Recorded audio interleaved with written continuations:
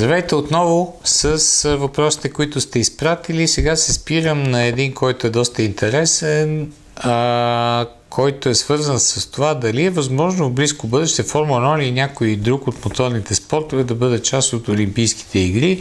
Изпраща го Любомир Пеев.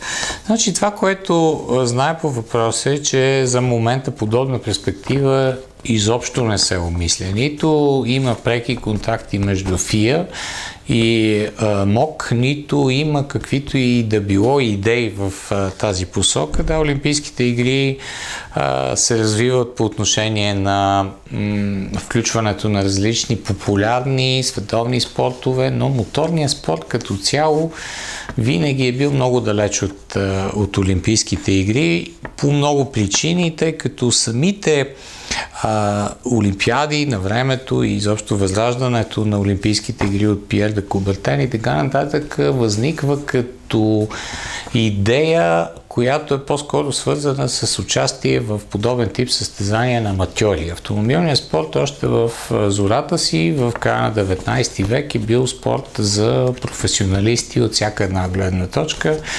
частни а, лица, които са участвали в състезанията с, с собственото си финансиране, макар че в огромна степен една най-малка, най-малка част от тях всъщност са били аматьори. Но а, до момента поне не ми е известно наистина да има каквито идеи идеи в тази посока. По-скоро обратното, защото по време на Олимпийските игри в Рио тази година една най-малка част от съоръженията, всъщност, на които се провеждаха състезанията, бяха изградени върху територията на бившата писта Жакаре Пагуа или Нелсън, Нелсън Пике в околностите на, на Рио де Жанейро. Тъй, че няма подобна перспектива, пък и смятам, че Олимпийските игри вече са толкова гигантско нещо, че добавянето и на някакъв тип автомобилно състезание към тях ще бъде много, много много сложно и ще добави допълнително увеличаване и на разходи по организация на всичко останало. За сега наистина няма, поне аз не съм чувал изобщо да има някакъв тип комуникация в тази посока. Благодаря за въпроса. Ще бъдем заедно скоро.